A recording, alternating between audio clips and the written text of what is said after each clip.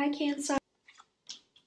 Okay, the High Priestess, Queen of Pentacles, the Magician, Three of Pentacles, Queen of Swords, and the Star card. Very nice, Cancer. Okay, so the High Priestess is going to be a big reveal this month.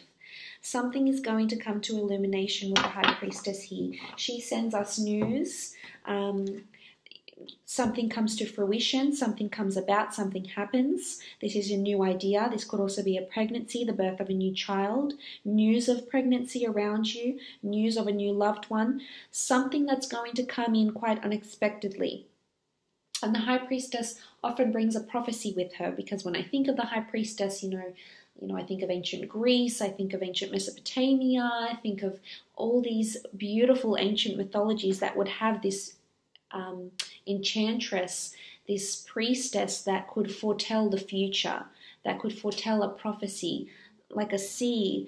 Um, and she would she knows what's ahead she knows what's for the future so i feel like a prophecy is about to come true so whether this is someone new coming into your life whether this is something that's happening around you at work whether this is the birth of a new idea, this is something that's sort of meant to be, is how I feel when I see the High Priestess in this reading. And it's interesting that you've got the Star card as well, because pair these two together, Cancer, and it's really um, a strong notion of fate and something being written in the stars for you. So I feel like this month might be a major turning point. There could be a lot happening for you, but this is what's meant to be. This is what's in your path and I feel like you can't fight fate. Whether this is serendipity, it certainly could be. You might be meeting someone this month that you end up spending the rest of your life with. Or you might be meeting someone that's supposed to be in your life to teach you things about yourself, about love, about what you'll tolerate, what you won't. This is someone that's going to be important for you. It doesn't necessarily have to be romantic, it could even be a friend, an associate, a colleague, or even a company you might start working for. But this is written in the stars for you with the High Priestess. As I mentioned, some of you might be um, getting pregnant, having a child. This could certainly be happening here whether it's um, planned or unplanned. This is, you know, it's sort of written in the stars here for you with the High Priestess. But something is definitely going to be revealed. You might even be consulting someone. There's sort of like an esoteric feeling with the High Priestess. So you might be consulting a tarot reader, a psychic, a medium. It's sort of getting involved in maybe spirituality, white magic, the dark arts, anything to do with this, um, you know, clairvoyancy, mediumship so this could be prominent for you, tell you something that might come to fruition and will really, you know, scare you. Um, or just, you know, you might freak out a little bit because you'll think, wow, this is what this person said and it actually came true. So something, a prophecy could be revealed to you through this person even that might communicate something to, um, to you about your future. So that's kind of exciting there, Cancer. But moving on, we have the Queen of Pentacles. The Queen of Pentacles is could be an earth sign, Taurus, Capricorn, or Virgo that's around you. it could even be you. This is an, either an asset that's around you or this is someone that's coming into your life. This is something that you can actually hold.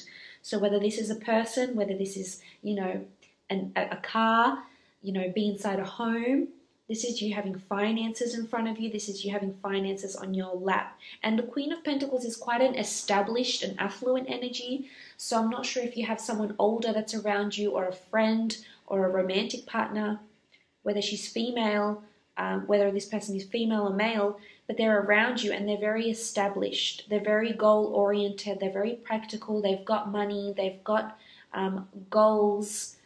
They have things behind them in their material world they own homes, they own assets, they own companies, you know, something like this.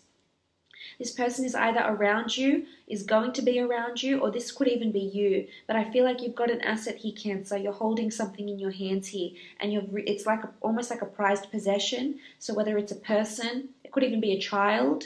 You know, Pentacles is anything in the physical form. You could be holding a newborn child in your lap. It might not necessarily be yours. You could have a friend that recently gave birth. You could have money, it could even be money, finances in your hands here with the Queen of Pentacles. Um, this could even be, as I said, a large asset that's looming. I feel there's money coming in for you though. And if it's not a pregnancy, it's definitely the birth of a new idea that's going to generate money. So it could be a creative pursuit, it could be a new client. You know, if you're sort of in that industry where you need to gain clients and you're commission based, there's certainly someone coming in around you that's going to prove quite lucrative and fruitful and um, uh, financially abundant. This person could be around you or could be coming in around you um, in, in this month. It could very well be your own finances that you're planning to do something autonomous. The magician is someone that works autonomously. He performs for people. I feel like the you might have a large viewership. All eyes are on you. I feel like this is going to be a really good month for you, Cancer. M- most of you, at least. Um, with the magician, you know, he has a viewership. He's got a fan base. So I feel like, you know, if you're working your way up to fame, I feel like people are going to know who you are. People are interested to see what you're wearing, who you're with, what you're doing. Um, you know, whether it's through social media or through production or you being in the limelight or you climbing your way to fame because you also have the star card. This is fame and recognition and being a star to someone in their eyes. But this is also, if you're starting a creative pursuit, this is something that's going to take off and you're either going to start online um, because people are looking, people are going to know the name of this this product, this service you provide, whatever it is that you've been working on. Maybe it's not a creative pursuit. It could be that you're working for a company or a corporation, and you you move up to a more autonomous role. You have you suddenly have a lot of people that are reporting directly to you, so there's a lot more accountability, a lot more responsibility. This could be working with production, working with shows, working for performances, performing yourself, busking even. This is a new beginning, though, with the magician. This could even be the beginning of a new romance. Look at this beautiful, lush garden he has around him. He has everything he needs, or she has everything he needs in his repertoire to get started. There's absolutely nothing holding him back. All the resources are there, everything he needs is there. This is wonderful, wonderful to see, Cancer. Could even be an Aries this is could even be, as I said, serendipity, someone you meet through work or through a performance or through a show even.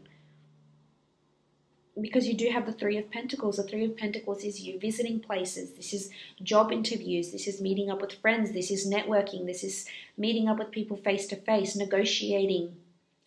This could be negotiating over a property negotiating over, um, you know, an autonomous creative pursuit, negotiating for the company or the corporation you work for here with the Three of Pentacles. This is you visiting buildings, churches, religious houses, um, sponsoring religious houses, showing off your product. This is, could be markets, conventions, conferences. This is you liaising with people, negotiating with them, offering your services, offering yourself, um, you know, promoting yourself. Maybe this is a job interview and something might become illuminated about this job interview. If you've recently been for one, you might hear news from this person um, that you that you're getting you're getting the job because I see there's a salary here, there's money, there's opportunity for the start of something new, and a lot of communication here with the Queen of Swords. So there's a lot of communication. A very very busy month for you, Cancer. Um, I just really really positive month, and hopefully it is for for all of you. but there's definitely a lot of talks about something. Something big is circulating and it's going to be announced. So it's almost like a big reveal that you might be waiting for. You might be communicating. Maybe you're in the events, you know, maybe you're in media, events, PR. The Queen of Swords, there's a lot of communication coming from an air sign. I feel like she's a Gemini here. Could be a Gemini, Libra, or Aquarius. You do have these two signs here, air signs. There could be strong communication. This could be this is someone that's very articulate, very well spoken, very charming, very charismatic. This person I feel is around you.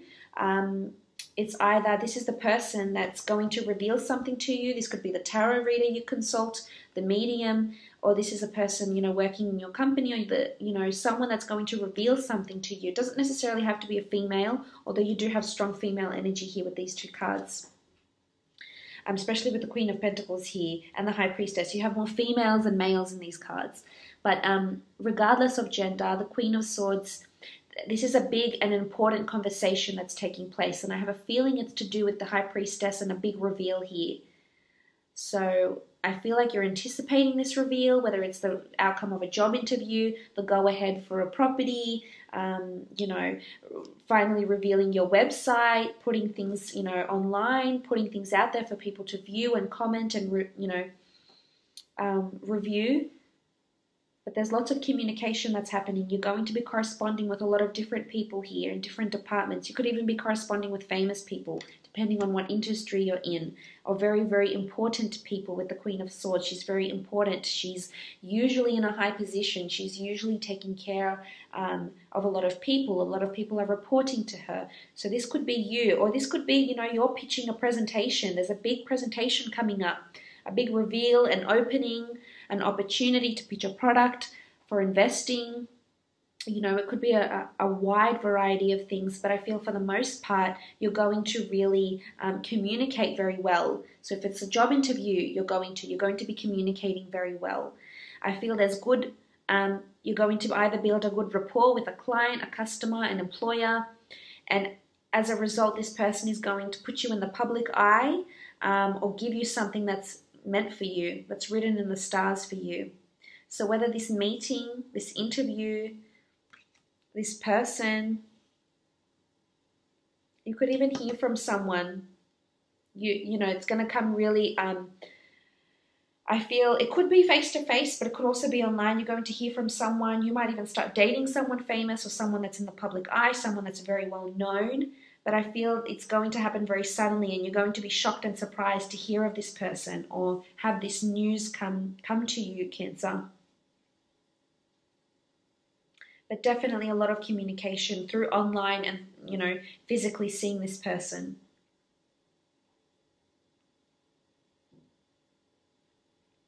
You've got the star card. This is fame. Things are written in the stars. This is destiny. It could be a strong aquarian that's around you